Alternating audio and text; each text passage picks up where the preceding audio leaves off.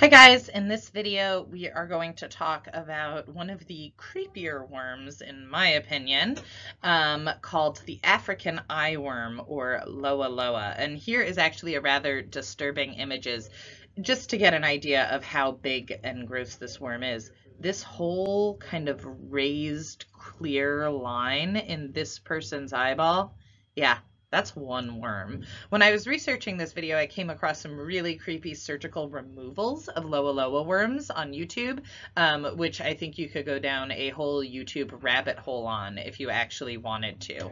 Um, okay, so let's talk about some specific things regarding the Loa Loa worm. First off, it's a worm. It's a nematode. It's actually a filarial nematode. So that means at some point we're going to be talking about microfilariae. Um, the, it is the main cause of a condition known as loiasis or loasis, depending on who you're talking about. And we don't see much of it in the United States, um, but it is endemic to West and Central Africa, hence why it is often called the African eyeworm. Okay, so anytime we talk about parasites, we know we need to know a couple of things. First off, the infective form, second off, the diagnostic form, and in this case, we have an added thing we have to know. We have to know the vector, right? Because anytime we talk about vector-borne illnesses, we need to know what the vector is. That's kind of a key thing for how we could control it and how our patients could avoid it.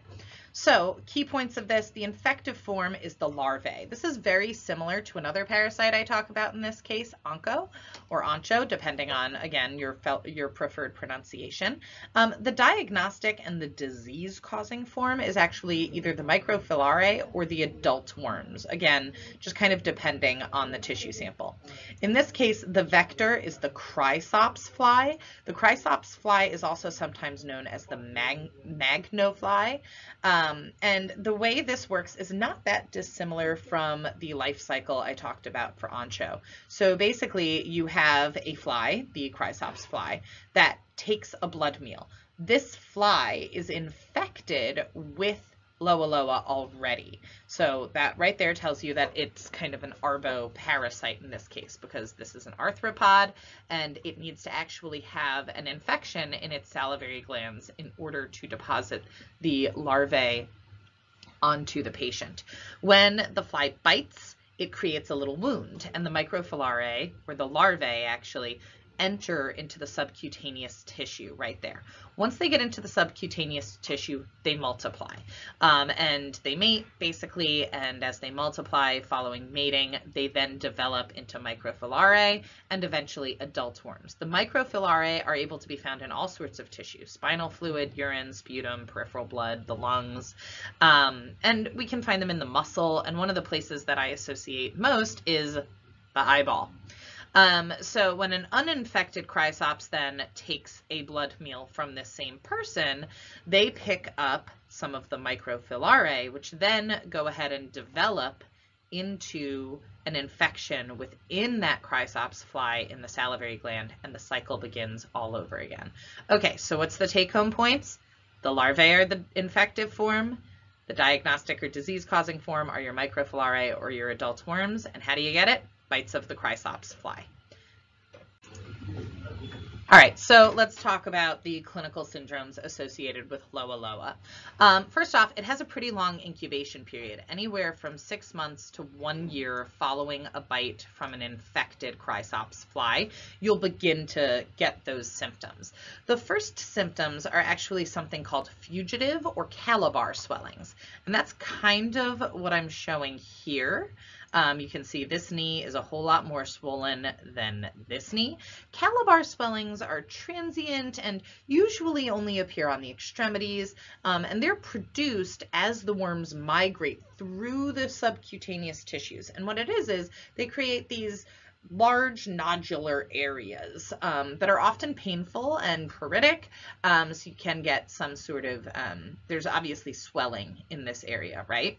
Um, and then the other thing that happens here is that you're getting a lot of edema here. And part of the reason you're getting edema, edema is that you actually have a lot of activity by eosinophils. And remember that as eosinophils attack the parasite, they're going to cause degranulation. And degranulation is highly inflammatory. And one way we promote the inflammatory response is by increasing vasodilation. When you increase vasodilation, you have kind of those leaky barriers and a whole lot of fluid can come in here.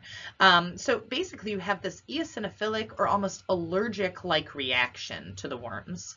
Um, the Loa Loa are also able to migrate under the conjunctiva and actually kind of you know, into the eye itself. So again, here's another um, really fabulous picture of a Loa Loa worm. So this whole clear ridge all the way up and then back down, that's all one worm. So we're talking like centimeters in length um, sometimes. So they produce irritation in the eye, um, painful congestion sometimes in here, uh, painful conjunctiva, obviously edema of the eyelids, and normally impaired vision. Um, but it's not always that way. Some cases you have patients where um, it's asymptomatic and the worm is just very long lived.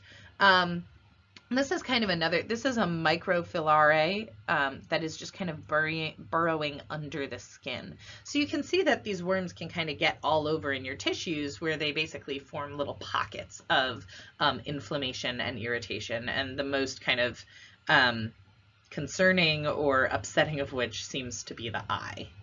Okay, so let's first talk about diagnosis. Diagnosis is actually fairly easy. Um, you're looking for a patient that has been in an endemic area, that's key.